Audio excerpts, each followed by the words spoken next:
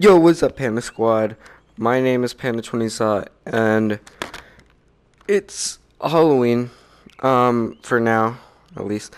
And today I want to do a video about my, since that there's some quests out there that I, like, really enjoy, like Golden Trophy, Crimson Cauldron, Jumbotron, Crescendo, Outlaw Skulls. I'm gonna be doing a number, a top five um, list of my favorite things, of my opinions. Now, y'all can do y'all's opinions, but these are my opinions, so yeah. Let's get on with the video, and make sure to hit that like button, subscribe if you're new to the channel, become one of the Panda crew, and yeah. Let's let's get started in top five list. So the reason why I think uh, Outlaw Skulls is a number five in my opinion it's a very glitchy game and a very hard game. And a lot of people want the eye patch and want to get carried and stuff. But I think it's a really fun, adventurous game. Um, it's a three-player player game. I wish it was four, but it's more challenging if you do it that way. And it took me a really long time to get Scallywag. It probably took me about like maybe two or one month. So way less time than the freaking midnight set. Um, and the boss, he's actually really easy. Like in, in case if you know what to do, like with the cannon, like hit him three times and stuff. But if you are new at the boss battle and don't know about that, it's kind of hard. But that's that, that's what I, that's my opinion, but um yeah. So that's why I think that Outlaw Skulls is on number five. So yeah, let's get let's move on to number four, shall we? So the reason why I think number four is on uh, Crimson Cauldron is because you can't really find that many good players a lot. Usually you find level 10s or 20s that are like asked to get carried or thinks that they're like really good at the game.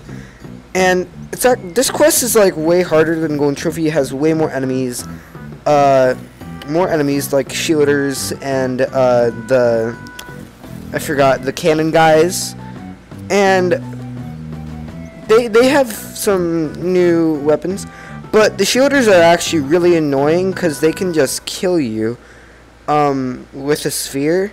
Like even even like because for some reason I keep on hitting the shield and it's just really annoying.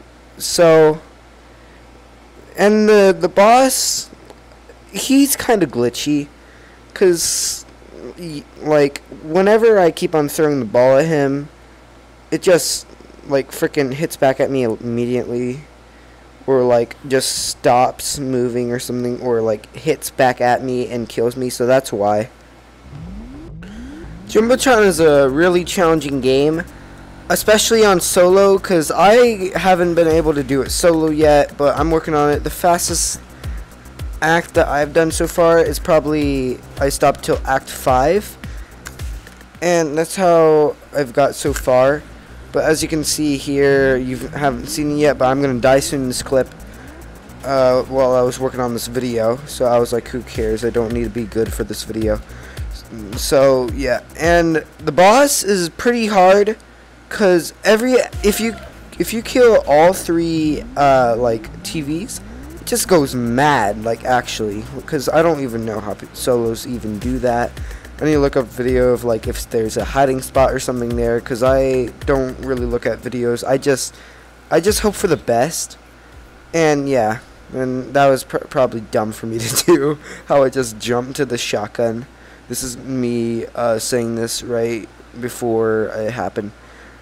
Uh, and it's and the enemies uh, and the quest I actually really like it so I'm gonna have to put this on number three and so yeah that's that's the reason why I love this game okay uh, next up is Golden Trophy and a lot of you might be saying Panda, why, why, why is number two Golden Trophy out of all the quests, all the adventures? Why is Golden Trophy on number two? Well, even though it's the boring quest, I think it actually is a boring quest. But the reason why I play it is if you if you get all the items inside the games inside the chests, you just earn rewards like tokens, food, other crap, and it's actually kind of fun to like because it's kind of competitive um and yeah kind of challenging. It's actually really easy but that's like why I choose this over like getting tokens that much. Unless if like so like whenever I get done with every single quest beating everything this is probably the only quest uh, Crescendo and um uh, Golden Trophy that I'm only gonna play for um, fun or tokens. Cause Crescendo, that's I adore that game. That's probably that's gonna be on number one soon in this video, and yeah. So that's the reason why I think Golden Trophy is on number two. So yeah.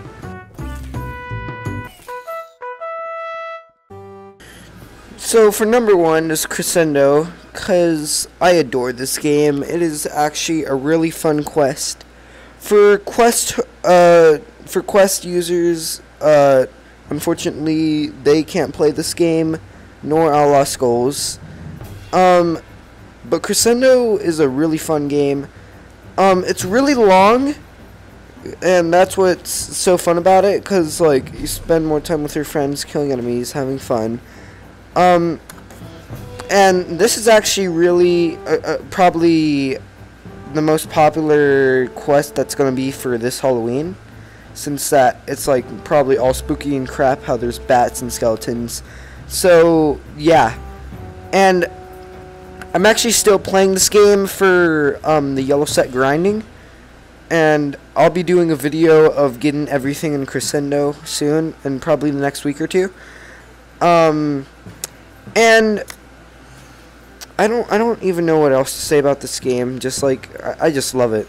Like cuz Oh yeah, the one problem that I don't really like about this game though is the the people that ask for carries. It's it's really annoying cuz like if they see me wear midnight or just any cape the reasons why I'm wearing those, I just like the outfit. I just like the fit with it. I don't want to show off.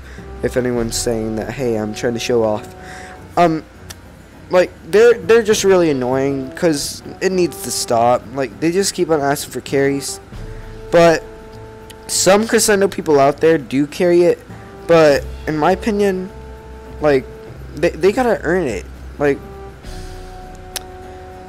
they just gonna let that one guy so because soloing crescendo takes skill and sweat and a lot of energy. Because if because it's really hard to just freaking throw your whip all day. Including like once you go to the act 2 on solo you're probably gonna sweat already.